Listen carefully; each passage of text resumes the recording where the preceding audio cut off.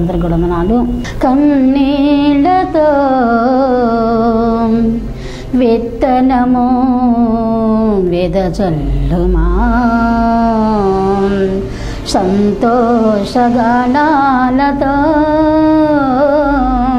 పంటను కోయుమా పనలను మోయుమా కన్నీళ్ళతో విత్తనము వెదజల్లుమా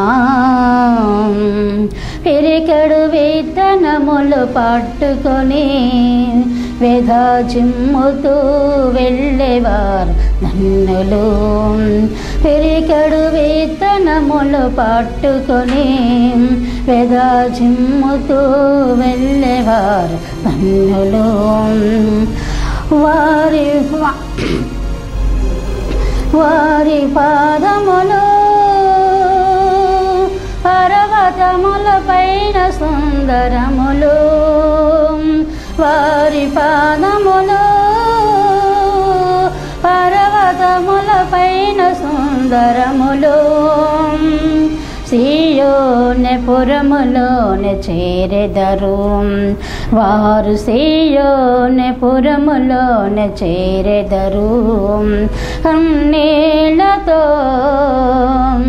విత్తనము వెదజల్లుమా. దొన్నని బీడు భూములెన్నుకొని కన్నీళ్ళతో తడుపువారు దన్నులు. దొన్నని బీడు భూములెన్నుకొని కన్నీళ్ళతో తడిపువారు దన్నులు. వారి కన్నీళ్ళు వెన్నడైన వృధా కాదు విధి నిజము. సీయోన దేవుణ్ణి చూసెదరు. వారు సీయోన దేవుణ్ణి చూసెదరు. కన్నీళ్ళతో విత్తనము ఎదజల్లుమా సంతోషగానాలతో పంటను కోయుమా పనలను మోయుమా కన్నీళ్ళతో విత్తనము ఎదజల్లుమా. ప్రజల భారమును తీసుకుని విలాపము చేయవారు దన్నులు ప్రజల భారమును తీసుకొని విలాపము చేయవారు దన్నులు వారి ప్రార్థనలు వారి ప్రార్థనలు విడాలోని నెరవేర్చను. ఇది నిజము. ఆనంద గీతాలు పాడెదరు వారు ఆనంద గీతాలు పాడెదరు కన్నీళ్ళతో విత్తనము పెదలుమా సంతోషగానాలతో పంటను కోయుమా పనలను మోయుమా కన్నీళ్ళతో విత్తనము ఎదజల్లుమా. హల్లెలూయా. ప్రభు నామానికి వందనాలు మీ అందరికీ స్తోత్రాలు. లివిన్ గార్డ్ని బట్టి కూడా మీకు అందనాలు సొత్తులు స్తోత్రము చెల్లించుకుంటున్నాం. ఇక్కడ చేస్తున్న ప్రతి బిడ్డల పని వారికి కూడా జ్ఞాపకం చేసుకోరాడి పరిశుద్ధాత్మ దేవుడా నీకు వందనాలు. స్తోత్రం స్తోత్రం స్తోత్రం. స్థుతి స్థుతి స్థుతి స్థుతి స్థుతి పరిశుద్ధుడా పరిశుద్ధుడా పరిశుద్ధుడా పరిశుద్ధుడా పరిశుద్ధుడా ప్రేమల తండ్రి జాలల తండ్రి. ఘనమైన పాదాలకి వందనాలు స్థుతులు స్తోత్రం చెల్లించుకుంటున్నాం ప్రభా. పరిశుద్ధాత్మ దేవుడా నీకు వందనాలు తండ్రి. ఇదిగో ప్రభా మరలి విని గాడిను ప్రభా బిడ్డల బట్టి నీకు వందనాలు తండ్రి. నడిపిస్తాను బిడ్డల బట్టి నీకు వందనాలు తండ్రి. బిడ్డలకి ప్రభా మంచి జ్ఞాన వివేచన దయచేసి ప్రభా బిడ్డలకి తండ్రి నాయన నడిపిస్తున్నందుకు నీకు వందనాలు తండ్రి. ఇదిగో ప్రభా ఈ యొక్క తండ్రి ఆ కృపను బట్టి నీకు వందనాలు సుతులు ఉత్తరం చెల్లించుకున్న పరిశుద్ధాత్మ దేవుడా అయ్యా నీకే వందనాలు తండ్రి. ఇదిగో ప్రభా నీ యొక్క దైవజనుడు ప్రభా నిలబడబోతుండగా తండ్రి. నీ వర్తమానం ప్రభా వింటనగా ప్రతి గుహములో ప్రభా ప్రతి మాట ప్రభా నీ వినిపిస్తున్నందుకు నీకు వందనాలు సుతులు స్తోత్రము చెల్లించుకున్న. పరిశుద్ధాత్మ దేవుడా నీకు వందనాలు తండ్రి. అయ్యా ప్రతి కుటుంబంలో ప్రతి సాధన చిక్కులు తండ్రి నాయన జ్ఞాపకం చేసుకో. వాటన్నిటికి నువ్వే పరిష్కారం చేయి ప్రభా. నీ వాక్యము ద్వారా నీ దైవజనుడు నిలబడి మాట్లాడుతున్న ప్రతి మాట ప్రభా తండ్రి నువ్వు ఆ బిడ్డలకి అందరికి కూడా ప్రభా ప్రతి గృహంలో ప్రతి బిడ్డలకి అర్థమయ్యే రీతిలో ప్రభా మాట్లాడి తండ్రి ఆ కుటుంబంలో ఎలాంటి సిక్కులు ఉన్న తండ్రి సమాధానం లేని కుటుంబాలు ప్రభా ఎన్నో ఉండే తండ్రి ఆ కుటుంబాలన్నిటి కూడా సమాధానం పరిచి యువనస్తులు జ్ఞాపకం చేసుకుని యువనపాయంలో ఉండే బిడ్డలు జ్ఞాపకం చేసుకోవాలని మనసులు మార్చిన ఆయన అనేక గృహములు శుభాప్త ప్రకటించగా సహాయము దయచే ప్రభ యొక్క లివింగ్ గార్డెన్ ఇంకా ఎదిగించి ఆశీర్వదించి దీవించి ప్రభ బలపరిచిన ఆయన నిలబడుతున్న యొక్క దైవ జనుని ప్రభ నిలబెట్టుకుని తండ్రి ఆత్మ అభిషేకముతో నింపబడే ప్రభావం నీవే సహాయం దయచేయమని బలపరచమని బలమైన కార్యాలు జరిగించిన ఆయన నీ కృప నీ దయ బిడలపై ఉంచమని ప్రభు నీ కృపలంకును వెదిగించి ఆశ్రయించమని పరిశుద్ధ నామంలో అడిగి వేడుకుంటున్నాము తండ్రి. హామీన్ హాలలుయా ప్రభు యేసుక్రీస్తు వారి పరిశుద్ధ నామంలో లివింగ్ గాడ్ ఛానల్ టీవీ ప్రేక్షకులకు శుభాభివందనములు. ఆయన మహాకృపను బట్టి మరలా బ్రతికించి మరలా ఈరోజు మీ మధ్యకు నడిపించిన ఆ దేవాది దేవునికి ఒకసారి స్తోత్రాలు చేద్దాం. పరిశుద్ధుడైన తండ్రి జీవాధిపతి సర్వశక్తివంతుడా వందనాలు. అల్పుడు అయోగ్యుడిని దేనికి పనికిమాన స్థితిలో ఉన్నప్పుడు నీ సేవకునిగా పిలిచి నీ ఉన్నతమైన మార్గంలో నడిపిస్తున్న దాన్ని బట్టి స్తోత్రాలు. అయా ఇప్పుడు మాట్లాడబోచుండగా మీరే నేరుగా మాట్లాడండి. నాకు సాధనమును మీ నోటికి పూరగా వాడుకోమని ఏస్తున్నామని అడుగుతున్నాను తండ్రి. ఆమెన్. హలెలుయా ఈరోజు మన ధ్యానాంశముగా మార్కు సువార్త తొమ్మిదవ అధ్యాయము ఇరవై మూడో వచనం ద్వారా ముందుకెళ్దామండి. నమ్ముట నీ వలననైతే నమ్మువానికి సమస్తమును సాధ్యమే. నమ్ముట మన వలనైనప్పుడు మనకి నమ్మగలిగినప్పుడు మనము మనం సమస్తకు కూడా మనకి సాధ్యమవుతుందని చెప్పి దేవుని వాక్యం ద్వారాగా పరిశుద్ధాత్మ దేవుడు మనతో మాట్లాడుతూ ఉన్నాడు. ఈరోజు ఈ వర్తమానం వింటున్న సహోదరి సహోదరుడా జీవితంలో మరి నమ్మలేక ఉన్నావా? ఈ మాటల ద్వారా మీరు బలం పొందుకోవాలని ఒక సేవకునిగా నేను కోరుకుంటూ ఉన్నాను. హాలెలుయ తొమ్మిదో అధ్యాయము ఇరవై మూడు వచనంలో మరొకసారి చూసినప్పుడు నమ్ముట నీ వలన అయితే నమ్మువానికి సమస్తమును సాధ్యం అన్నాడు అక్కడ ఉన్న సందర్భం ఏంటి అంటే ఒక పిల్లవానికి మరి దయ్యం బట్టి ఎన్నో చోట్ల తిరిగినప్పుడు కూడా మరి స్వస్థ కలక్క ఆ పిల్లవాని తల్లిదండ్రులు విసుగు వేసారి ఉన్నారు. ఆ సందర్భంలో మరి యేసుక్రీస్తు శిష్యుల దగ్గరికి తీసుకొచ్చి మరి వారు అడిగినప్పుడు వీరు ప్రార్థించారు కానీ అక్కడ ఆ యొక్క దయ్యం బయటికి వెళ్ళనట్టు మనం చూస్తూ ఉన్నాం. యేసుక్రీస్తు అక్కడికి వచ్చినప్పుడు వారిని ఆ మరి ఆ పిల్లవాని తండ్రిని ప్రశ్నించినప్పుడు ఆ పిల్లవాని తండ్రి అంటున్నాడు అయా మరి నా కుమారుడు ఒకగానొక కుమారుడుకు ఈ రీతిగా మరి ఇబ్బంది పడుతున్నాడు. ఈ దయ్యం ఎప్పుడు కూడా నీళ్ళలోను అగ్నిలోను తోస్తూ ఉంది నీ శిష్యుల దగ్గరికి తీసుకొచ్చాం వారి వల్ల కాలేదు. నీ వలన ఏమన్నా అయితే మరి చేయమన్నప్పుడు ఆయన అప్పుడన్న మాట అదనమాట. నువ్వు నమ్మటం లేదు కాబట్టి నీకు సాధ్యపడటం లేదు. నువ్వు నమ్ము ఇప్పుడే నీకు సాధ్యపడుతుంది అన్నప్పుడు అని అంటున్నాడు అయ్యా నాకు అపనమ్మకం కలగకుండా చేయమని చెప్పి మాట్లాడినట్టు చూస్తున్నా.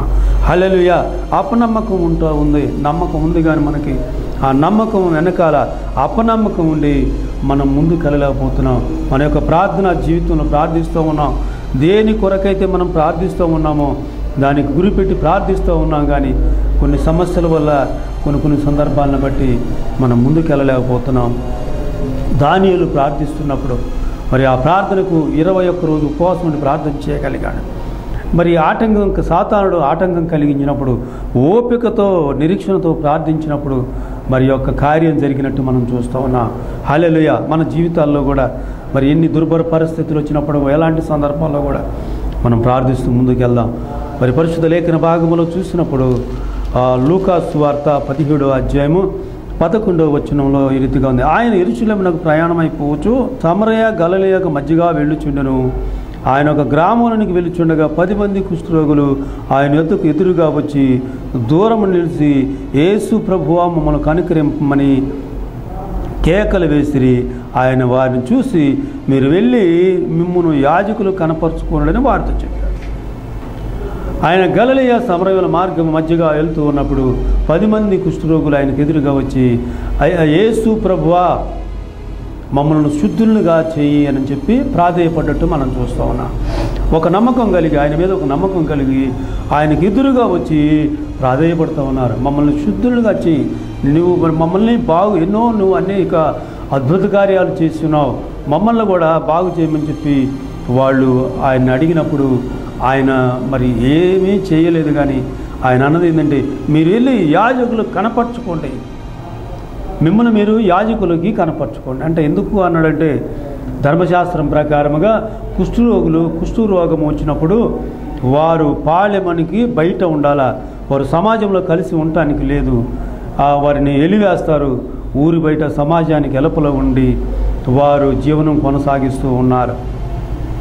అలాంటి సందర్భంలో మరి వారు దూరమయ్యారు కుటుంబాలకు దూరం అయిపోయారు మరి వారి యొక్క బంధువర్గానికి దూరం అయిపోయారు ఈయన స్వస్థపరచగలడు అనే ఒక నమ్మకం కలిగి ఆయనకి ఎదురుగా వచ్చి మమ్మల్ని స్వస్థపరచమని పది మంది అన్నప్పుడు ఆయన మీరు యాజకులను కనపరచుకోండి అన్నప్పుడు. యాజకులు కనపరుచుకున్నప్పుడు ఆ పొడ కుస్తు లేనప్పుడు యాజకులు ఏం చేస్తారంటే మీరు సమాజంలో కలిసిపోండి అని చెప్పి కలిపేస్తారు. అందుకని మీరు వెళ్ళి కనపరుచుకోండి అన్నప్పుడు ఎలాంటి చూ చూసినప్పుడు వాళ్ళల్లో ఏముంటుందంటే ఆ జబ్బు అనేది జబ్బుగానే కనపడుతూ ఉంది. కుష్టు వ్యాధి వారికి కనపడుతూనే ఉంది. వారి దేహము కుష్టుతోటే ఉంది. వారు కుష్టు వ్యాధితోటే ఉన్నారు. కానీ ఈయన మీరు వెళ్ళి కనపరుచుకోండి అంటున్నారు. మరి వాళ్ళలో అపనమ్మకం రాలేదు. వాళ్ళు అనలేదయ్యా. మరి మా దేహాలు అయితే మరి ఏమాత్రం మార్పు రాలేదు కదా. మా దేహాల్లో ఇంత మార్పు కూడా మేము చూడలేకపోతున్నాం కదా. మేము ఎలా వెళ్ళి వారికి యాజకులు కనపరుచుకోవాలా?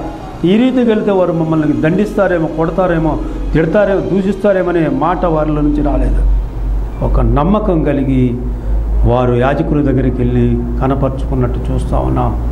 తర్వాత మరి ఆ పది మంది శుద్ధులయ్యారు. మార్గాన వెళ్తా ఉంటేనే మార్గ మధ్యంలోనే వారు శుద్ధులైనట్టు మనం చూస్తూ ఉన్నాం. హలలుయ మన జీవితాల్లో మనం చేస్తున్న ప్రార్థన కూడా నీవు అనుకోని సమయంలో నువ్వు అనుకోకుండా ఉంటావు.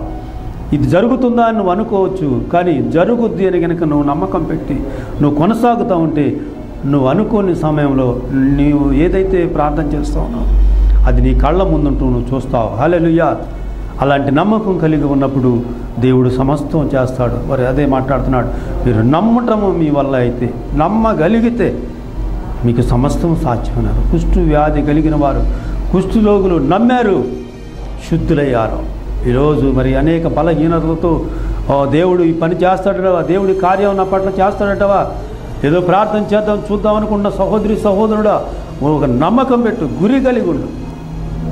గురి కలిగి నువ్వు ప్రార్థించి దేవుడు ఒకరోజు నిన్ను నిలబెడతాడు. ఈరోజు ఉన్న స్థితి నుంచి నిన్ను ఒక ఉన్నతమైన స్థితికి నిలబెట్టబోతా ఉన్నాడు. నమ్మి ప్రార్థించి హాలెలుయ అలాగే మరి యోహాను స్వార్తలు కూడా చూసినప్పుడు యోహాను స్వార్త రెండవ అధ్యాయంలో ఈ రీతిగా రాయ రాయబడి ఉంది. యోహాను స్వార్త రెండవ అధ్యాయము ఒకటో వచ్చిన నుండి చూసినప్పుడు మూడవ దినమున గలలియోని కానాని ఊరిలో ఒక వివాహం జరిగను. యేసు తల్లి అక్కడ ఉండెను. యేసును ఆయన శిష్యులను ఆ వివాహమునకు పిలువబడిరి. ద్రాక్షరసం అయిపోయినప్పుడు యేసు తల్లి వారికి ద్రాక్షరసం లేదని చెప్పగా యేసు ఆమెతో అమ్మ నాతో నీకేం పని? నా సమయం ఇంకా రాలేదన్నది. గలలీలోని కానానను ఒక పెళ్ళిలో మరి ఏసు క్రీస్తు ఆ యేసు క్రీస్తు శిష్యులు ఆయన తల్లి అయిన మరియమ్మ కూడా అక్కడ ఉన్నట్టు మనం చూస్తా ఉన్నాం. ద్రాక్ష రసం అయిపోయినట్టు గమనించింది మరియమ్మ. ఈయన వారి దగ్గరకు వచ్చి అంటుంది అయ్యా మరి ద్రాక్ష రసం అయిపోయింది అందరూ మత్తులో ఉన్నారు. మరి ఆ వివాహము జరుగుతూ ఉంది వారంతా మత్తులో ఉన్నారు. ద్రాక్ష రసం లేదని చెబితే మరి కొన్ని గొడవలు జరిగి ఉండవచ్చు జరుగుతాయి. మరి ఏం చేద్దామని చెప్పి అడిగినప్పుడు అమ్మ నాతో నీకేం పని? నా సమయం ఇంకను రాలేదు అంటున్నాడు. దేవుడు కొన్ని కొన్ని సందర్భాలను బట్టి చూసినప్పుడు ఆయన సమయం ప్రతిదానికి ఒక సమయం ఉంది. ప్రసంగ గ్రంథంలో మూడు అధ్యాయంలో ఉంటుంది. ప్రతిదానికి ఒక సమయం ఉంది. పరిశుద్ధ లేఖన భాగం పఠిస్తున్న సహోదరుడా ప్రతిదానికి ఒక సమయం ఉంది అనేది గమనించకపోతే నీ జీవితంలో తారుమారైపోయి నువ్వు వెనకడికి ఇయటం జరుగుతూ ఉంది. నువ్వు దేవుళ్ళో బలపడటానికి ఒక సమయం ఉంది. నువ్వు మహాభివృద్ధి చెందడానికి ఒక సమయం ఉంది. నువ్వు దేవుణ్ణి వెంబడించడానికి ఒక సమయం ఉంది. సమయం లేకుండా వెంబడిస్తారు దేవుణ్ణి. తర్వాత సమయం వచ్చినప్పటికీ వెనకబడి వెళ్ళిపోతూ ఉన్నారు. అలా కాకుండా సమయాన్ని గమనించి ప్రార్థన చేయి. దేవుణ్ణి నడిపిస్తాడు. అలెలుయ అక్కడ యూదుల శుద్ధీకరణ ఆచార ప్రకారము ఆరు రాతి పానల్లో మరి ఆ ఆరు రాతి పానల్లో ద్రాక్ష రసాన్ని నింపి వారికి వడ్డించటం జరుగుతూ ఉంది అక్కడ. యూదుల ఆచారం అది. అవివాహ ప్రతి ఆ జరిగినప్పుడు అలా వడ్డించడం జరుగుతూ ఉంది. వారికి ద్రాక్ష రసం పోస్తూనే ఉంటారు. వీరు తాగుతూనే ఉంటారు. అయితే ద్రాక్ష రసం అయిపోయిందంటే గొడవ జరుగుద్ది అక్కడ. అందుకని మరియం వచ్చి ఏసైతే ఆ మాట చెప్పమని జరిగింది. ఏసురాజు నాతో ఉండగా ఎందుకు నాలో ఇంత తొందర? ఏసురాజు నాతో ఉండగా ఎందుకు నాలో ఇంత తొందర? కానాను పెళ్ళిలోన ఏసై ఉండగా నీటిని ద్రాక్ష రసముగా మార్చెనుగా కానాను పెళ్ళిలోన ఏసై ఉండగా నీటిని ద్రాక్ష మార్చెనుగా. ఆ మంచి నీళ్ళ లాంటి నీ జీవితాన్ని మధురంగా మారుస్తా. ఒక మంచి నీళ్ళుగా ఒట్టి నీరుగా ఉన్నావేమో. నిన్ను మధురంగా మారుస్తాడు. ఆ ఆరు రాతి బాణంలో నీరు పోయించి ఆ ఆరు రాతి బాణంలో నీరు పోసిన తర్వాత ఆ పనివారిని పిలిచాడు రాండి అని పిలిచి ఈ ఆరు నీతి శుభ్రంగా కడగండి. శుభ్రంగా కడిగి ఆరు రాతి పానలను కూడా నింపండి నీటితో నింపండి శుభ్రమైన నీటితోటి అని అన్నాడు. ఎందుకు కడగాలంటే పాత ద్రాక్ష రసము క్రొత్త ద్రాక్ష రసము రెండు కలిసినప్పుడు అది మనిషిని తారుమారు చేస్తూ ఉన్నాయి. అలాగే మన జీవితాల్లో కూడా మన పాత జీవితాన్ని కలుపుకొని నూతన జీవితాన్ని దానిలో కలిపి ఈ రెండు మిక్సింగ్ చేసి మనము దేవుళ్ళు బలంగా కొనసాగలేకపోతామని నీ పాత జీవితాన్ని విడిచిపెట్టు. నీ గతంలో ఏదన్నా కావచ్చు నీ జీవితం. దాన్ని విడిచిపెట్టి ఒక నూతనమైన జీవితంలో ఏస్తయ పోసిన ద్రాక్షరసముగా నీ జీవితాన్ని మలుచుకో. నువ్వు ఆ రీతిగా కొనసాగు. మరి ఆ నీరు పోసారు వారు. వెంటనే అంటున్నాడు ఆయన ఈ ద్రాక్షరసం ఇది ఇది తీసుకెళ్ళి వారికి వడ్డించండి అని ఆజ్ఞ ఇచ్చాడు వరం లేదు అయ్యా మేమే కదా ఈ నీళ్ళు పోస్తుంది పైగా ఏదో అడుగున కొద్ది గొప్ప ఆ అడుగు మజ్జన్న ఉంటే అందులో ఈ నీళ్ళు కలిస్తేనన్నా కొద్దిగా ద్రాక్షరసం లాగా తాగి ఉన్నారు కదా వాళ్ళు మత్తులో ఉన్నారు కదా ఆ అడుగుదన్న కొద్దిగా అందులో ఇందులో కలిసి నీరు కలిస్తే ఏదో ఉందలే అనుకున్నా తాగొచ్చు కానీ శుభ్రంగా బాణలు కడిగించావు మాతోటే. మరి క్రొత్త మరి నీరు మంచి నీరు పోయించావు. ఇది ద్రాక్షారసం అని పోస్తే మమ్మల్ని కొడతారేమో అని చెప్పి వారిలో అపనమ్మకం రాలేదు. వారు ఎక్కడ కూడా సందేహించినట్టు మనం గమనించలేదు అక్కడ. వెంటనే ఆయన మాట అందుకే మరియమ్మ అన్నది ఆయన చెప్పినది చేయండి. ఆయన ఏదైతే చెబుతాడో మీతోటి అదే చేయండి అన్నాడు. అందుకని ఆమె మాటిన్నారు వారు. మరి ఏసయ మాట విన్నారు వెళ్ళి మరి ఒడ్డించారు నీళ్ళు ముంచి పోయటం నీళ్ళు పోసారు మరలా తీసి ఆ నీరు ఇవన్నీ ఏమి చూడలేదు వారు. ఆ మక్కులతో తీసుకెళ్ళి పోస్తూ ఉంటే వాళ్ళు అంటున్నారు అమోహంగా ఉంది ద్రాక్షరసం. ఇది ఎక్కడ తీసుకొచ్చారు ఈ రాక్షరసం మేము అనేక ప్రాంతాల్లో చూసాం అనేక ప్రాంతాల్లో చూసాం కానీ అనేక పెళ్ళి విందుల్లో చూసాం మేము. ఎక్కడ కూడా ఇంత అద్భుతం మేము చూడలేదు. ఎందుకంటే మొదట మేము మరి బాగున్నప్పుడు మనుషులు మంచి ద్రాక్షరసం పోస్తారు. మత్తులుగా ఉన్నప్పుడు ఏదో కల్తీ కలిసిన ద్రాక్షరసం పోస్తారు. కానీ ఇక్కడ దానికి ఓ డిఫరెంట్గా ఉంది. తేడా పడుతుంది మాకు. ఒక తేడా కనపడుతుంది. మొదట పోసిన ద్రాక్ష రసానికి ఇప్పటికీ సంబంధమే లేదు అసలు. ఇది ఎక్కడి నుంచి తెచ్చారు మీరు? మాకు చెప్పండి మేము కొనుక్కొస్తాం అక్కడ అంటున్నారు. ఎక్కడ తెచ్చారు? ఎక్కడ తెచ్చారు ఇది? ఏసాయి దగ్గర తీసుకొచ్చారు. కనుక దేవునందు ప్రియ సహోదరి సహోదరుడా కల్తీ లేని జీవితం జీవించు. కల్తీగా బ్రతకొద్దు. కల్తీ వద్దు. ఆయన ఏదైతే నీతో చెప్పాడో అదే చెయ్యి. ఆయన నేను ఏది చేయమన్నాడో అదే చెయ్యి. నీ జీవితంలో నేను ఏ పిలుపు పిలిచాడో అదే కొనసాగించు.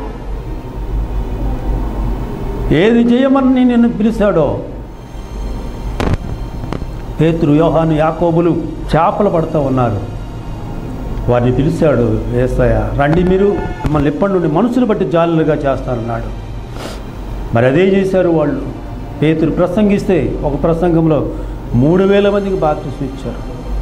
ఒక ప్రసంగంలో ఐదు వేలకు మంది బాప్తిసం ఇచ్చారు. ఆయన చెప్పిందే చేశాడు పేతురు. నువ్వు నేను ఏం చేస్తావు ఆయన చెప్పింది చేస్తున్నామా లేదా? మరి ఆ కానాను పెళ్ళిలో అద్భుత కార్యాలు చూశారు. హల్లెలూయా. అలాగే మరి ఇంకొక సందర్భాన్ని కూడా చూసినప్పుడు యోహాను స్వార్థలోనే ఇంకొక అధ్యాయంలో ఐదో అధ్యాయంలో అటు తర్వాత యూదుల పండగ ఒకటి వచ్చిన గనక ఏసు ఎరుసలేమునకు వెళ్ళెను. ఎరుసలేములో గొర్రెల ద్వారం దగ్గర హెబ్రి భాషలో పేతస్తా అనబడిన ఒక కోనేరు కలదు. దానికి ఐదు మండపములు కలవు. ఆయా సమయములకు దేవదూత కోనెట్లు దిగి నీళ్ళు కదిలించడం కలదు. నీరు కదిలింపబడిన పిమ్మట మొదట ఎవడు దిగును? వాడు ఎట్టి వ్యాధి గలవాడైనను బాగుపడను. గమనించండి. ఆ యొక్క యూదుల పండగ యూదుల పండగకు ఎరుచులముకు యేసుక్రీస్తు ప్రతి సంవత్సరం కూడా ఆయన హాజరవుతాడు అక్కడికి. ఆయన తప్పకుండా వస్తాడు అక్కడికి. ఆ గొర్రెల ద్వారము దగ్గర బేతెస్తా అనే కోనేరని రాయబడి ఉంది. ఆ కోనేరుకి ఐదు మండపాలు ఉన్నాయి. ఈ ఐదు మండపాల్లో కుంటివారు గుడ్డివారు ఊస కాళ్ళు చేతులు గలవారు. అనేక మంది ఆ మండపాలు ఐదు మండపాల్లో పడుకొని ఉన్నారు అక్కడ ఒక వ్యక్తిని మనకు చూపిస్తామన్నాడు అక్కడ ఒక వ్యక్తి ఉన్నాడు. అతను ముప్పై ఎనిమిది సంవత్సరాల నుండి అక్కడ పడి ఉండటం చూస్తున్నాడు అతని విశ్వాసాన్ని గమనించండి ఒకసారి. చాలామంది అంటారు అతను సోమరి అయిపోయి బద్దకస్తుడిగా ఉండి ఇక ఆ రీతిగానే ఉండొచ్చు అని చెప్పి అక్కడికి వచ్చిన వాళ్ళు ఏదో వేస్తుంటే తిని ఉంటున్నాడు పడుకుంటున్నాడని చెప్పి అనుకుంటున్నారు. మరి ఇక్కడ గమని లేఖనాలను గమనించినప్పుడు అతను విశ్వాసం ఏంటంటే కుంటివారు గుడ్డివారు కుంటివారు ఒక్కాలు కుంటి కాలు అతను. మరి ఆ దేవదత వచ్చి నీళ్ళు కదిలించినప్పుడు ఎగిరి దూకొచ్చు ఒక ఇక్కడ అన్నమాట చూసినప్పుడు అయ్యా నేను మరి ఆయన అతను బహుకాలం నుండి పడి ఉండడం ఈయన చూసి స్వస్థత పడగోరుచున్నామని అడిగినట్టు చూస్తాను అంటున్నాడు. నీళ్ళు కదిలింపబడినప్పుడు నన్ను దింపడానికి ఎవరు లేరయ్యా? నాకంటే ఎవరో ఒకళ్ళు ముందు దిగి స్వస్థపడతా ఉన్నారు. నేను ముప్పై ఎనిమిది సంవత్సరాల నుంచి ఇక్కడ ఉన్నాను. ఏదో ఒక రోజు నేను స్వస్థపడతాను అని చెప్పి. దేవుళ్ళు కొనసాగుతున్న సహోదరుడా ఎన్ని సంవత్సరాల నుంచి నువ్వు దేవుని సన్నిధిలో ఉంటున్నావు? దేవునితో గడుపుతూ ఉన్నావు. దేవుళ్ళో కొనసాగుతూ ఉన్నావు. నీ జీవితంలో మార్పు ఉందా? ఎప్పుడైనా గమనించావా మార్పుని? నీకు నువ్వు సరిపెట్టుకుంటా ఉన్నావా? నీకంటే నిన్న మొన్న వచ్చినవాడు కూడా మరి అనేక ప్రాంతాల్లో తిరిగి స్వార్థ ప్రకటిస్తూ ఉన్నారు. అనేక పరిచర్యలు చేస్తూ ఉన్నారు. నేను ఎందుకు చేయలేకపోతున్నాను బాగుపోతున్న సహోదరుడా? నీ జీవితంలో మరి గమనించలేకపోతా ఉన్నా వేస్తాయి అంటున్నాడు లే నీ పరుపు ఎత్తుకొని నడు అనగానే దిక్కున లేచినట్టు.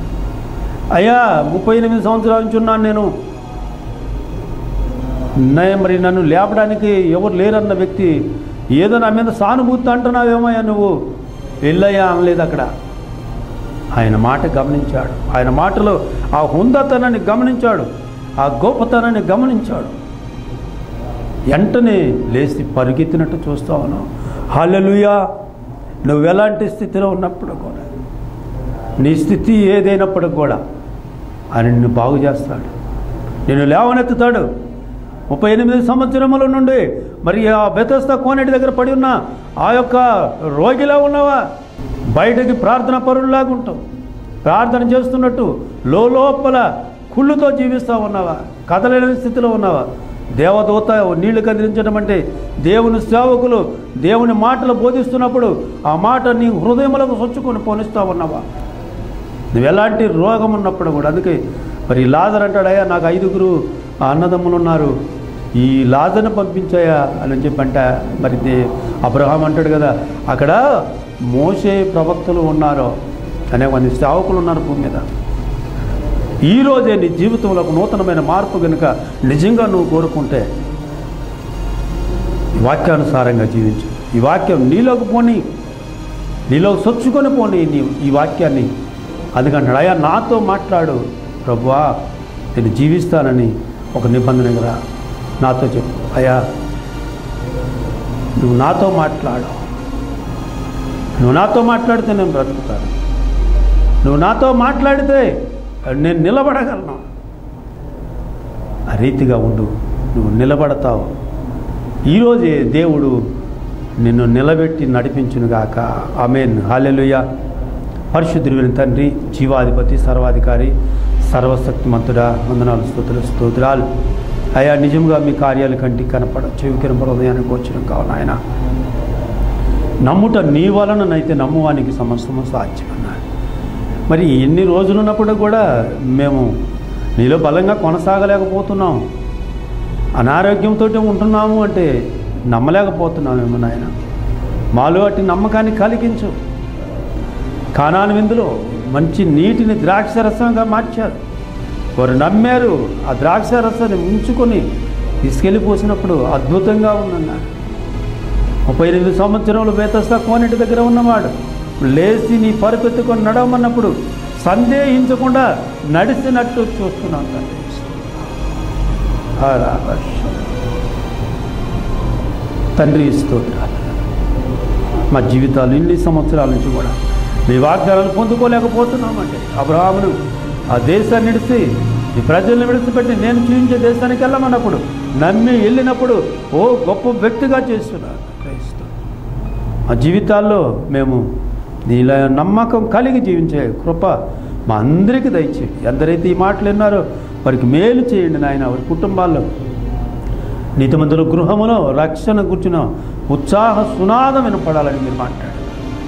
సునాదాన్ని ప్రతి గృహంలో వినిపించండి. నమ్మకాన్ని కలిగించమని ఏస్తున్నాము అడుగుతున్నాను తండ్రి. అమెన్ తండ్రి అయిన దేవుని ప్రేమ ప్రభైనేసు క్రీస్తు యొక్క కృప పరిశుధాత్మ యొక్క సహవాసం లివింగ్ గాడ్ ఛానల్ ప్రేక్షకులకు ఇందులో పనిచేస్తున్న వారికి సకల పరిశుద్ధులకు సదాకాలం తోడే నడిపించిన గాక ఆమెన్. మీ అందరికీ వందనాలు.